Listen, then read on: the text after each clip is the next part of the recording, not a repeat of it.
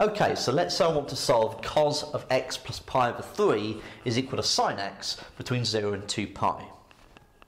So, I can't uh, solve this directly. What I need to do is replace sine x with um, a cosine function.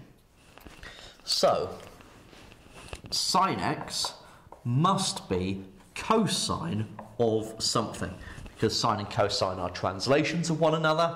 So um, I should be able to write sine as a translation of cosine. So cosine x, thinking about that, um, in order to get to sine, must translate pi over 2 uh, to the right. And so I would need x minus pi over 2. So I can replace sine x with cosine of x minus pi over 2. Now, if cosine of something equals cosine of something else, those two somethings must be the same.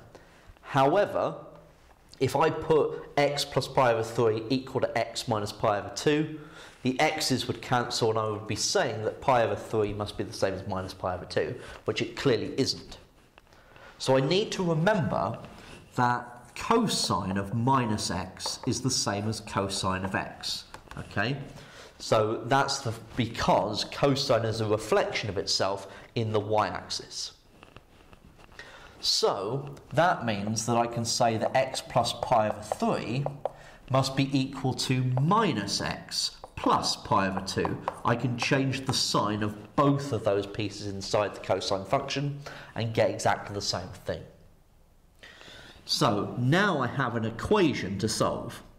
Add the x's to both sides, so or add an x to both sides, then subtract pi over 3 from both sides. So pi over 2, take away pi over 3 is pi over 6, and so x is pi over 12. Now that's not the only solution between 0 and 2 pi, because you've got two, um, two cosine curves, effectively, Okay, if I just, uh, or two sine curves or whatever, it doesn't matter. Right? If I just draw one next to the other, then there will be two intersection points between 0 and 2 pi. Okay, and these two solutions, because they will always be equidistant apart, will always be pi apart. Okay? So the next time these two graphs will be another pi along here. And so I just need to add pi to that to get my second solution between 0 and 2 pi. So adding pi to that gets me 13 pi over 12. So the two solutions are pi over 12 and 13 pi over 12. Okay, they solve the original problem.